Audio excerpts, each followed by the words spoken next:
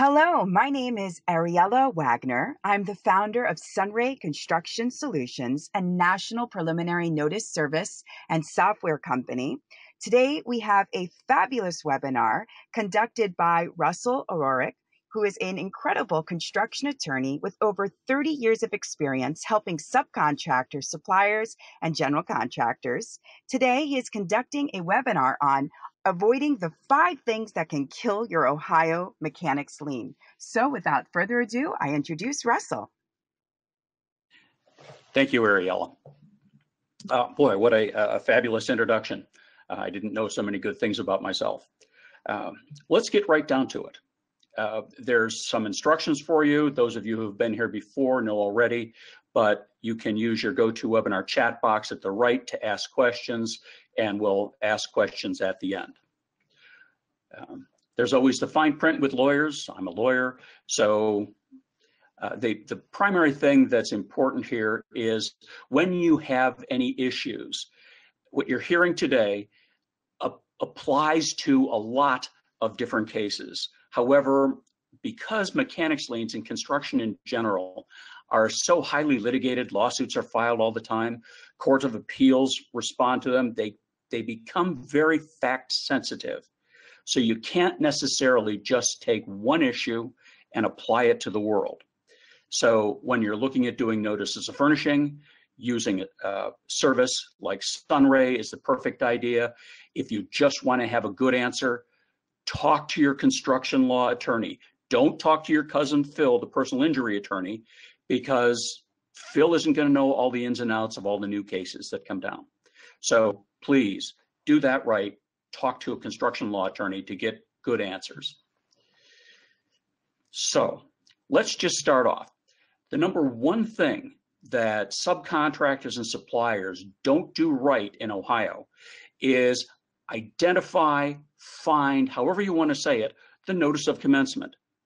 The notice of commencement is a document that tells you all the secrets that you'll ever need to know about filing a mechanics lien. They tell you what the name of the project is, at least what the, uh, the owner is calling it. They tell you who the owner's designee is. The owner's designee becomes very important in just a few slides. They describe the project. They give you the legal description. You're going to need the legal description when you're getting ready to file a mechanics lien. Oh, just as a side note, we are really talking about private construction projects today. We're not talking about federal or state and local projects. That's a whole different set of rules. So anyway, uh, it, it really hits every button you need if you want to file a mechanics lien and in some circumstances, if you're doing residential work, and sometimes there is a, a notice of commencement filed on a residential project, we'll talk about that one as we get a little further on too. Uh, but sometimes you want to be able to give notice to the bank that you haven't been paid. That can be real important. So you want to see that notice of commencement because all these things, including the name of the lender, are listed. I see these things go on all the time. People just, they mess it up. And the way to get it done right is to start with the basics. Now, sometimes the basics are very difficult because you just can't find that notice of commencement. The law is that the owner must file a notice of commencement. And once the owner files a notice of commencement, then your obligation becomes to serve a notice of furnishing. Now, what does that mean? Well, first of all, you have to figure out if the, the owner filed a notice of commencement you have to do a lot of searching. And that's really one of the problems with this whole rigmarole of how you're going to serve your notice of furnishing because you have to see the notice of commencement. How do you see the notice of commencement? You find it online in some of the counties. Some of the counties won't show you. Some you have to do some guessing. And if you do a lot of notices of furnishing, or you're a service that does a lot of notices of furnishing, you get notices of commencement. So when the order comes in, they say, oh, yeah, that's the ABC project, and you go right to it, even if you can't otherwise find it online. And the courts have been really pretty bad about extending the rights of an owner, even if they mess up their notice of furnishing a little bit, uh, notice of commencement a little bit. So sometimes it makes it awfully difficult to find because one of the ways they're listed is through the owner. But if you're a sub or a supplier, you may not even know who the owner is. So that is very important. Once you determine that a notice of commencement is filed, to have mechanics lien rights, you must serve a notice of furnishing. Now, who do you serve the notice of furnishing upon? Well, the primary issue is going to be it depends on who you are. If you are a first tier subcontractor or first tier supplier, and by that I mean somebody who is in contract with, here we'll call it the general contractor. Under the statute, it's really called the original contractor. The contractor or contractors that have a contract directly with the owner.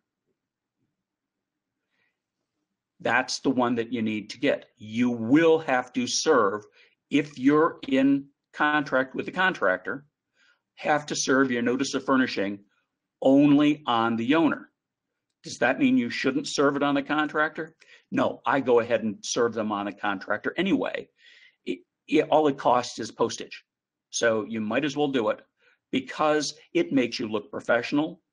It makes you look like uh, you know what you're doing and it also tells the contractor, these people are, this subcontractor, this supplier is one who's going to get paid because at some point, the owner is going to ask me for a note, uh, a um, lien waiver from them. The whole point of doing this notice of furnishing is to tell the owner, and if you're not in direct contract with the contractor, the contractor that you're working on the job, that you're supplying materials to this job. Why? So they can ask for a lien waiver from you to assure that you have been paid to avoid having a mechanics lien. Now, when this law first passed, I've been doing mechanics lien since 1987. When this law first passed in 1991, I said, oh my gosh, I'm going to have to get a whole new job because they're all the mechanics liens are going to go because actually turned out, out to be the Russell O'Rourke Full Employment Act because they're so hard to do right. Everything here is hard to do right. What if you don't know if there's a notice of commencement? What if you just can't find it at all? Do you have to serve a notice of furnishing? Well, the answer is yeah, maybe. And the maybe is if there was one there, you had to. If there wasn't one there, you didn't have to. Should I serve a notice of furnishing anyway? Heck yeah. Why would you serve a notice of furnishing if there was no notice of commencement? Because you want to get on that payment list. You want the owner to be asking the contractor, where's that lien waiver from ABC Supply? I paid you last month for ABC. I need to know that they got paid. So do a notice of furnishing regardless, and you'll get paid faster. Now, when do you need to serve this notice of furnishing? You need to serve it within 21 days of your first day of work on the job if you want full lien rights. And the person you're going to serve it on uh, is going to be, again, variable depending upon who you are. The, the issue really becomes Again, if you're a first tier sub or supplier, you only have to serve it on the owner. If you're a sub sub or a supplier to a sub, then you have to serve it on both the owner and the original contractor. The reason you do that is letting the contractor know that you're working on the job. If you're that first tier, you don't have to tell the contractor, hey, I have a contract with you, because kind of by definition, they already know it. So that's that's the reason you want to do that. That's the reason the law makes you do it. What happens if you miss that 21 days? Again, it depends.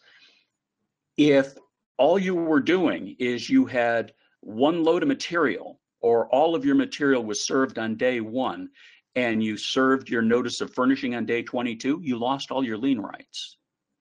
If you're working on the job or delivering materials to the job over a long period of time, and you did it on day 22 or day 50 or day 100, all you did was end up losing all the lien rights before 21 days before you served the notice of furnishing.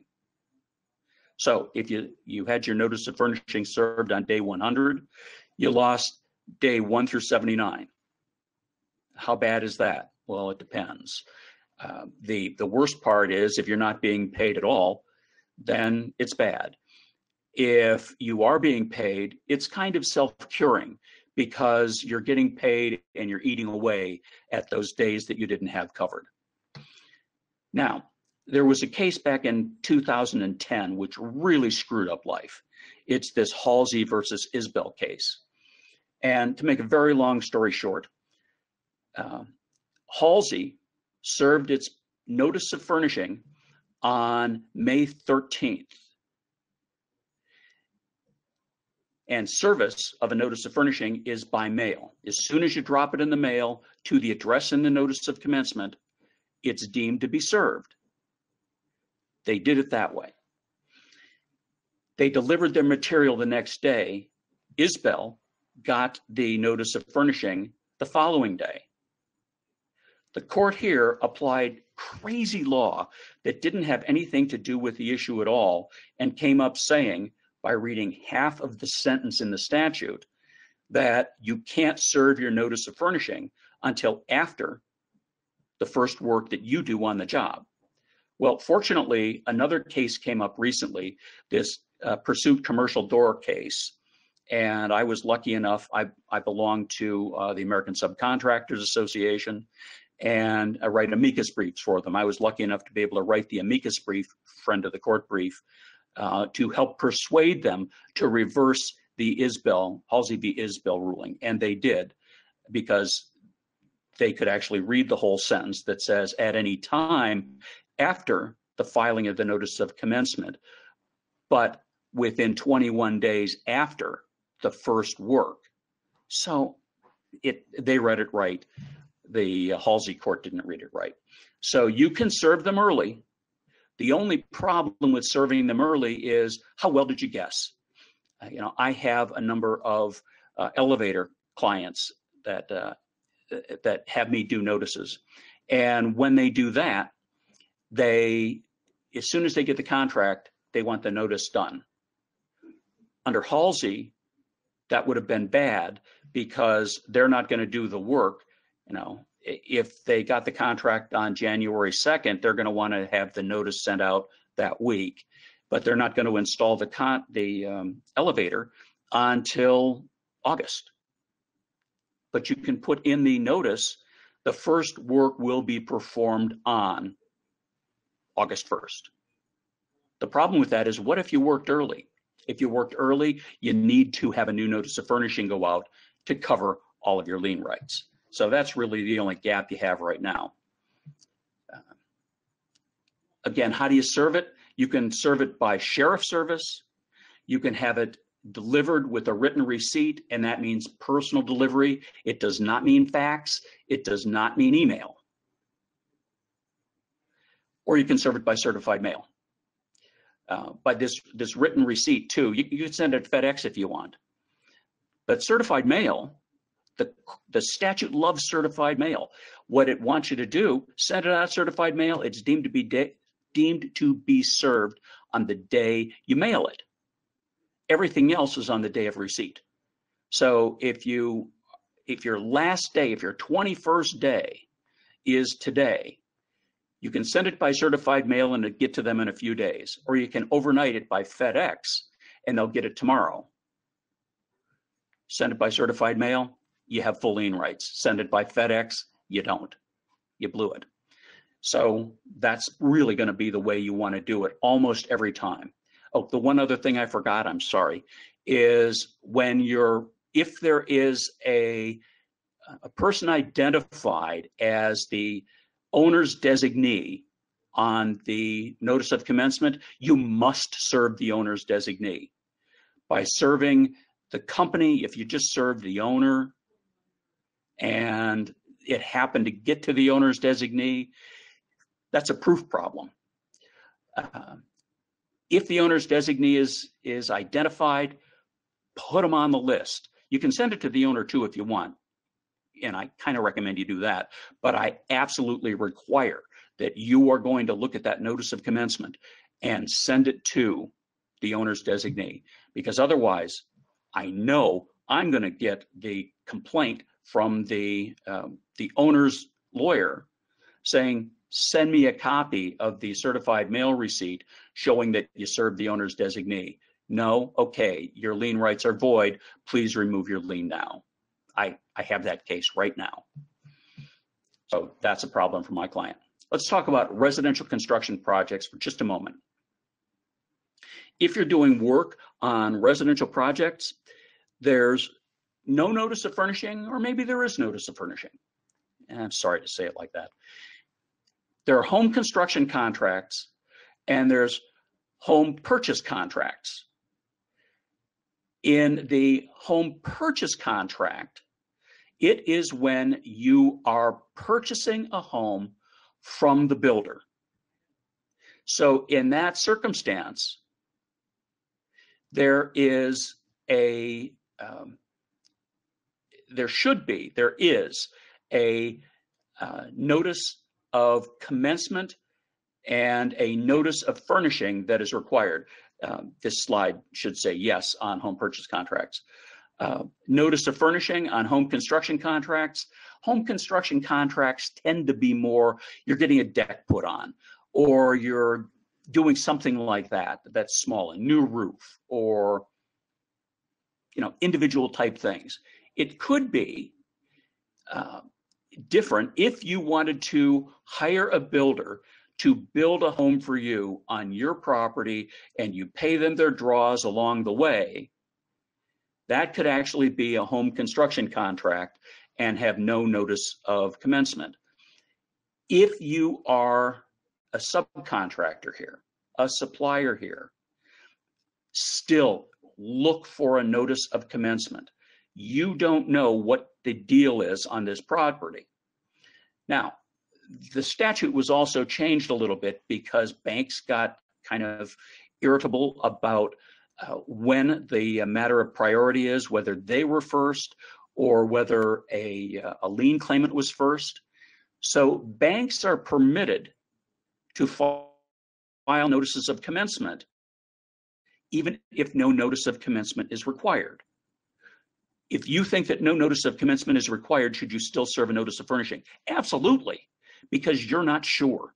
You, you really don't know what the individual pieces of this are.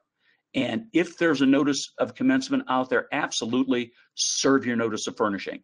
It doesn't cost you that much and it protects you. Not only does it protect you against not getting paid, it also expedites the opportunity for you to get paid because people don't want liens.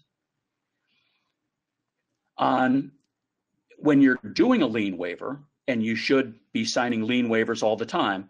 There's really two. This isn't a lien waiver program, but I'll just mention there's a conditional lien waiver, and you can tell those do not read the top.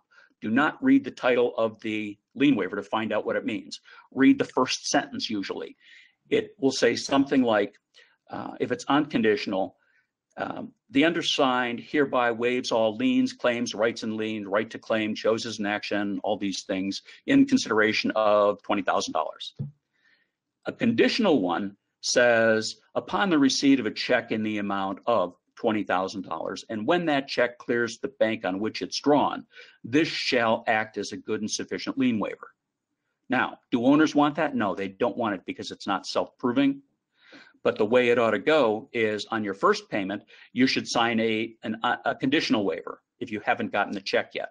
Anytime you don't have the payment in your hand or you don't trust it, sign the conditional one. After the check clears, so perhaps at next month's draw, the first month you give them a conditional. Next month you give them a con conditional for the check you haven't gotten yet and an unconditional for the one that you already have gotten. Now, what about, uh, what are you waiving here? Uh, one of the problems with lien waivers is they waive everything. Liens, okay. Claims, wait a minute, was there a change order? That's a claim. What they should be saying is bond claims. Uh, and all those things. So you want to narrow it down. So you're just waiving lien rights. If there's a bond on the project, you can also waive bond rights. Through what date? It usually says uh, through the date hereof, but you're not being paid through the date hereof. You're being paid, particularly if you're on a commercial project. You know, you have your draw in by the 25th of the month and you're going to get paid if everything goes perfectly in the 30th of next month or maybe in ohio because there's a prompt pay law they have 10 extra days so it could be the 10th two months later so when you sign your lien waiver on you know 40 days after the work that you have in you've just waived your lien rights not from january 1st through january 31st you've waived them from January 1st through uh, March 10th. Okay, March 12th. Um, so you can change that and put on the specific date that you have that you want to waive your lien rights for. Is it preserving retainage? I waive all my lien rights for the period from January 1st through 31st. Well, but you had 10% retainage withheld. So did you just waive your lien rights? Boy, I sure would want another sentence in there that says not including lien rights. What if they send you a paid in full check? Ohio has a statute that if they send you a check that says paid in full on the check or in the accompanying uh, documentation says paid in full and you cash it, except in very few circumstances, that's going to be paid in full if you had any dispute on the project. And there's always a dispute on the project. So be very careful if you see a paid in full check. Uh, before you file your lien, you really want to do, and it's not required in Ohio, it's required in a bunch of states. What you really like to do is have a notice of intent to lien sent out. And that tells everybody that you haven't been paid, that you know your clock is ticking, and that if you're not paid, you already have a lawyer lined up, you've got this ready to go, and you're going to file a mechanics lien. Now, what are the deadlines for filing a mechanics lien? If you're working on a residential project, it's 60 days. That's one or two family or a single unit of a uh, residential condominium. You Remember, though, that homeowners have a paid in full defense, whether it's on a home construction project or a home purchase uh, project. They have a paid in full defense. And what if they haven't paid in full? They paid everything but the last $10,000 and there's $50,000 worth of liens. Well, everybody's going to get their pro rata share of whatever's left. The homeowner is not going to have to pay twice.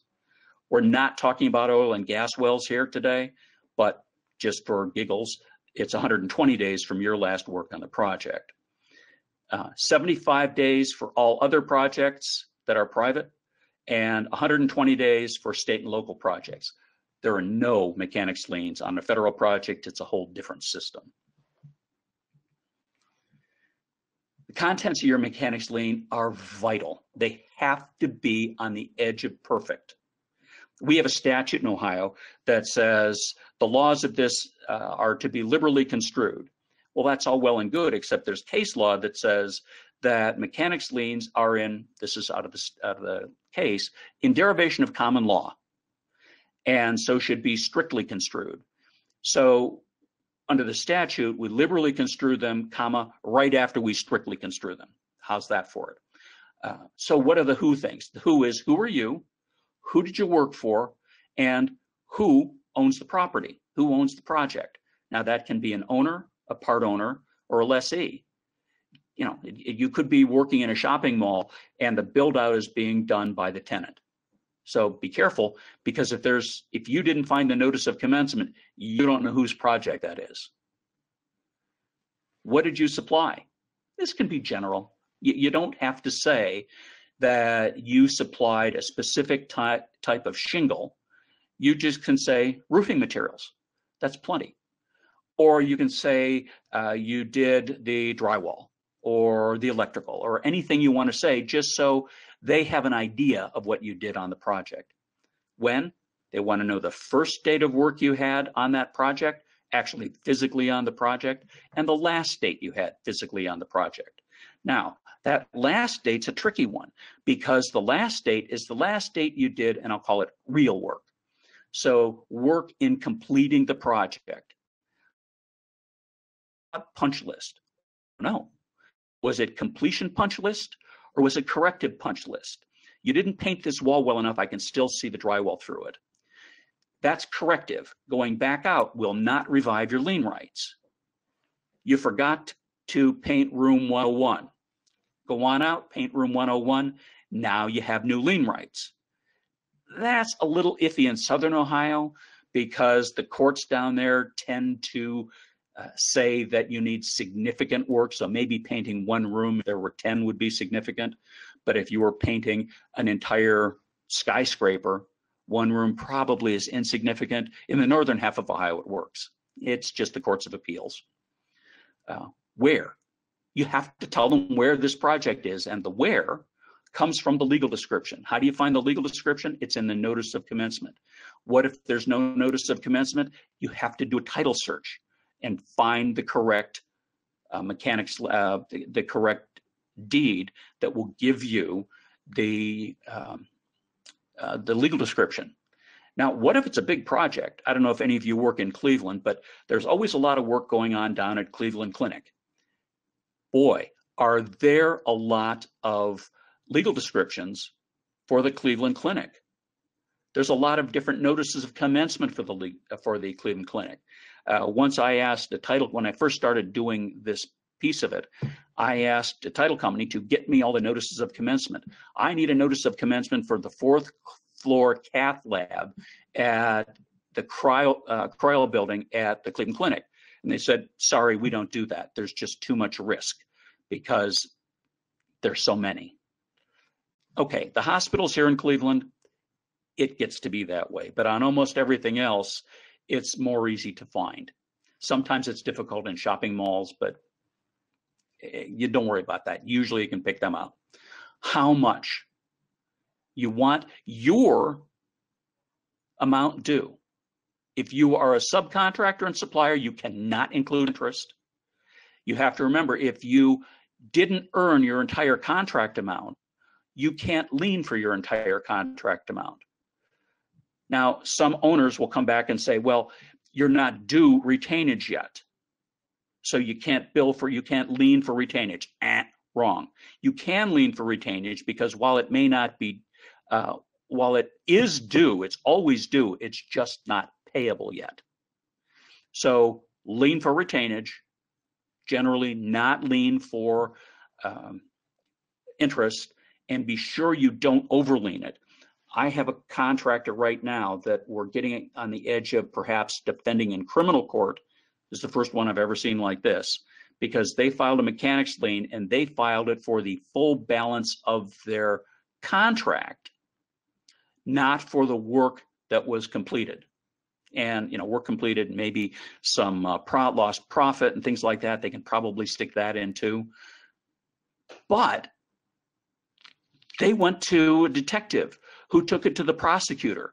And now the prosecutor is talking to our client about this felony theft claim that they're going after. Now, if you're a little off, that's okay. There's actually some good Court of Appeals cases that say, you know, if it's in the area, there was one that was 10% off, and it was only because there was a dispute between the parties the lien claimant filed for the uh, the entire balance, and they just hadn't figured out this last fourteen hundred dollars. It was a small contract. Uh, so if you're a little off, that's where you get in the liberal concept of our statute. The other stuff is all strict. So be sure you have everything else right. The how much, as long as it's not crazy how much off, you're good to go. Uh, you have to serve it. One of the statutes, when people do their own mechanics liens, one of the things they always miss is 131107.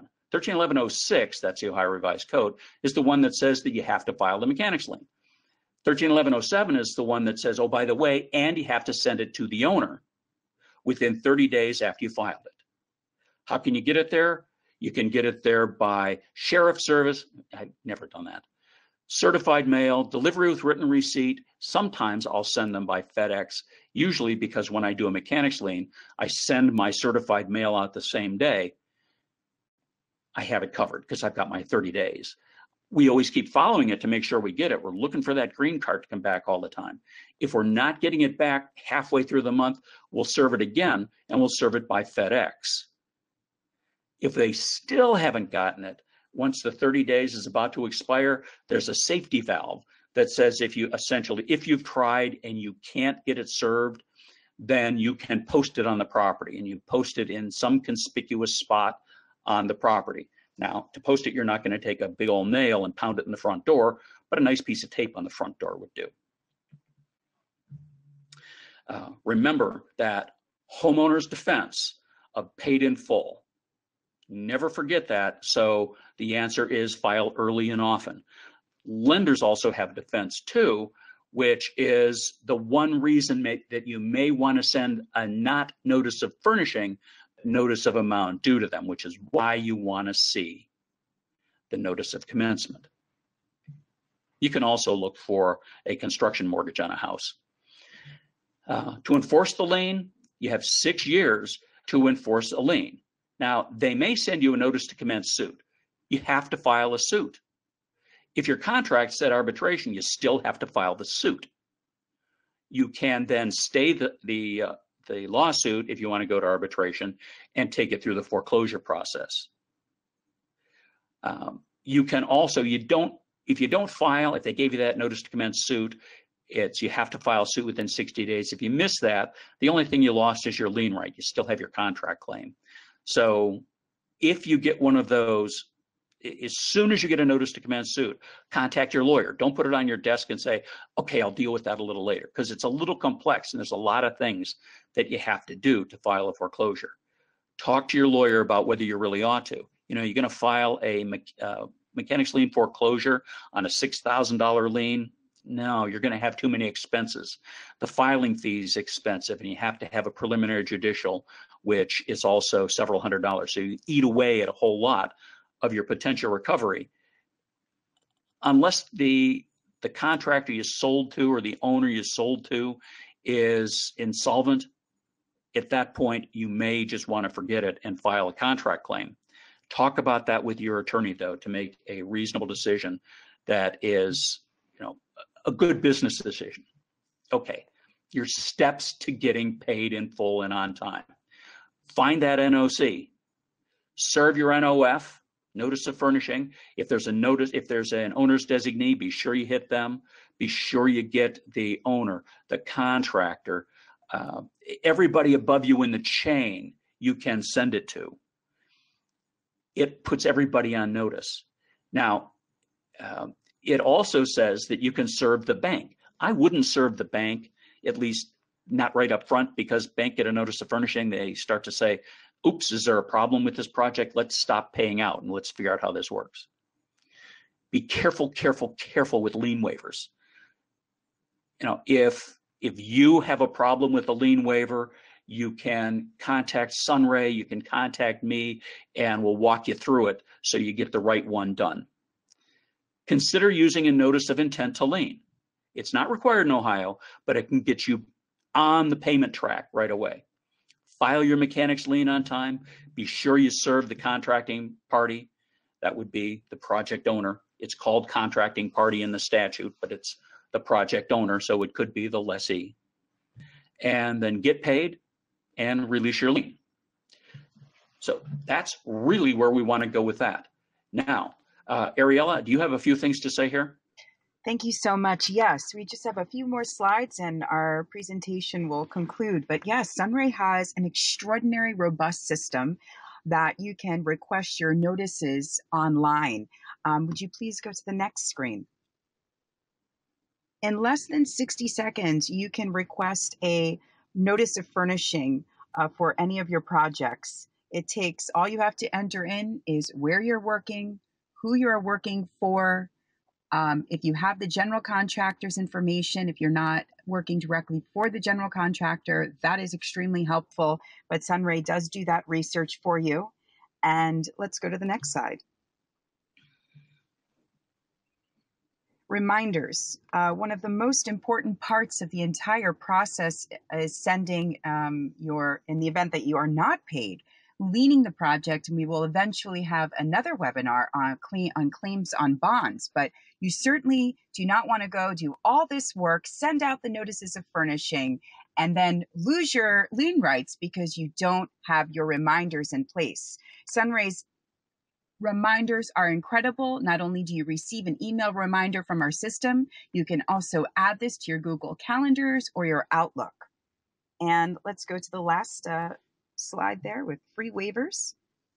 And as Russell was explaining, your waivers and releases, all the statutory forms are inside of the Sunray application. So you can select the document you need. The legal description will be pulled from your notices to, uh, of furnishing, and you can make sure you select the right notice for, pardon me, the right waiver and release for um, the project as he mentioned before, how crucial it is to have the correct through dates, the conditional versus unconditional, and all of those can be done for free in uh, the Sunray application. So, and we'll go to the final slide, which um, if we have any questions, I know so far we have one question from uh, one of Sunray's customers. And uh, the question has there are actually three questions, and Russell, I'll answer a few of them, but I think that you're you're going to be best to answer um, the last question here. So it says Sunray asks for the NOC at the time of sending an NTO. Does Sunray follow up on the request if the NOC is not received?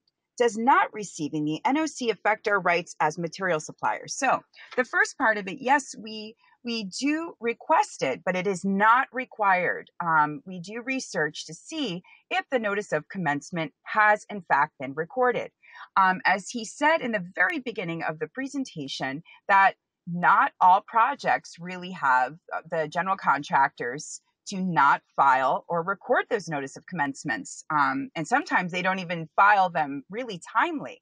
So, what we do at Sunray to make sure that we preserve lien rights is not only do we send the notice of furnishing, we send the notice of furnishing with a request for a notice of commencement by certified mail. Now, I would like for Russell to answer the legal questions because there are times, again, where there is no notice of commencement filed. And if there is no notice of commencement filed, or if the notice of commencement is filed at a later date and we requested the notice of furnishing, how you still have lien rights. So go ahead, Russell. Excuse me, thank you. The if there's no notice of commencement filed, you don't have to do anything. As I say, you still should, but you don't have to serve a notice of furnishing if there is no notice of commencement.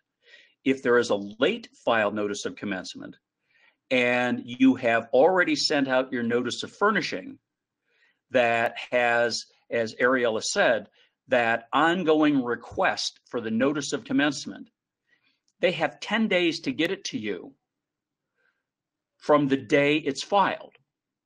Or if it's already filed, uh, let's say it that way. If you send out your notice of furnishing along with the notice of request for notice of commencement, they have 10 days to get the notice of furnished notice of commencement back to you. If they don't get it to you within those 10 days, your your clock on serving your notice of furnishing stops and doesn't start again until they get it back to you, in which event you have another 21 days.